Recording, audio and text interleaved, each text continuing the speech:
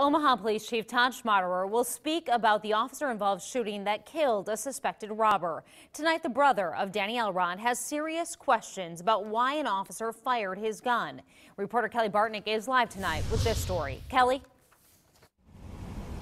Jenny James Floyd does uh, he doesn't deny his brother's criminal past, but he does believe that there is more to this story. And tonight he is criticizing Omaha police who fired at his brother who was not armed. 39 year old Daniel Elrod's life ended here near 13th and Center Monday night. Police say he robbed this family dollar store and ran. Then he didn't listen to their demands to stop and surrender. There was a scuffle and then gunshots. I'm not gonna lie, I'm nothing about my brother. My brother has a sordid past of uh, doing wrong, and but he served his time for all the things he done wrong. And it seems like they're trying to portray him in a light that, like he's a menace, but he's not a menace. On the phone from Youngstown, Ohio, Elrod's younger brother James Floyd is criticizing what the officers did.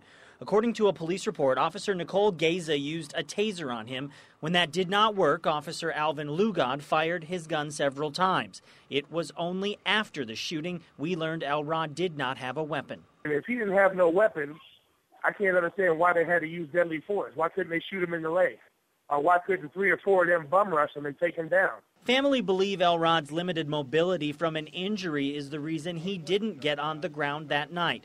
Floyd doesn't believe police accounts or that his brother took part in the armed robbery. And it seems like they're trying to make it seem like because of what he's done in his past, that they're making trying to make it seem like he deserved to get gunned down like some rabid dog in the street. And I don't feel that's right. Meanwhile, the night before Police Chief Todd Schmaderer's address, the investigation continues.